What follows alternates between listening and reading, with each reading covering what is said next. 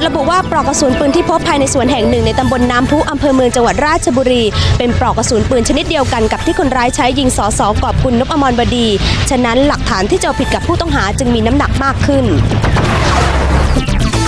ตำรวจได้ตัวผู้ต้องหาคดีรุมทำร้ายครูจูหลิงเหยื่อไฟใต้เพิ่มอีก 3 คน ขณะอาการของครูจูหลิงหลังรักษาอาการครบ 2 สัปดาห์ยังไม่ดีขึ้น จากทุกสารทิศนะครับต่างเดินทางมาช่วยเหลือผู้ประสบภัยในจังหวัดอุตรดิตถ์ขณะที่ชาวบ้านเองต้องการให้บริจาคเป็นเงินนะครับทั้งนี้เพื่อที่จะนำไปสร้างบ้านใหม่ครับ กทช ตั้งศูนย์ประสานงานโทรคมนาคม รับมือปัญหาโทรศัพท์ขัดข้องช่วงเกิดภัยพิบัติ กตเตรียมสรุปคดีจ้างพักเล็กวันจันทร์นี้ขณะหัวหน้าพักเล็ก 2 พักกล่าวหาเลขาธิการพักประชาธิปัตย์จ้าง 15 ล้านบาท ไม่ให้ลงเลือกตั้ง และให้ใส่ร้ายแกนนำไทยรักไทย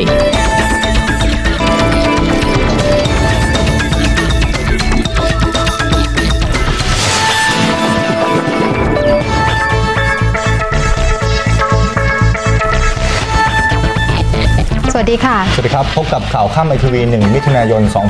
2549 ครับ ใกล้ที่จะสรุปคดีสังหารนางกอบกุลนพอมรบดี อดีตสสราชบุรีพักไทยรักไทยนะครับ หลังจากที่วันนี้มีความคืบหน้า